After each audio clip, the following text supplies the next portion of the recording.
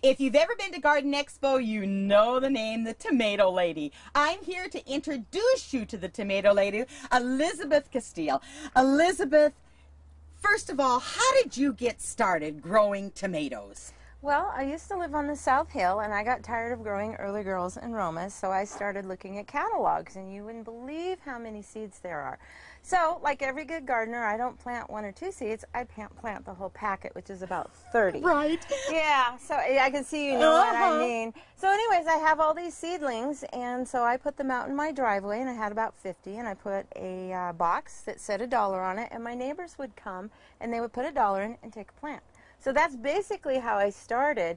And then I went and I did the second year of the Garden Expo, and I've been doing it ever since, except for one more year. That's what you have growing in your greenhouses right now is around 6,000 tomato plants? 6,000. Now, I, is the Garden Expo the only place you sell? No, I sell out of my home. Um, it was kind of out of desperation. People there would be such a huge crowd. I mean, there'd be like a hundred people, and the show started at nine. They'd be there at seven thirty. So I started telling people, "Come to the house," and so they did. And I actually sell probably two thirds of them from the house.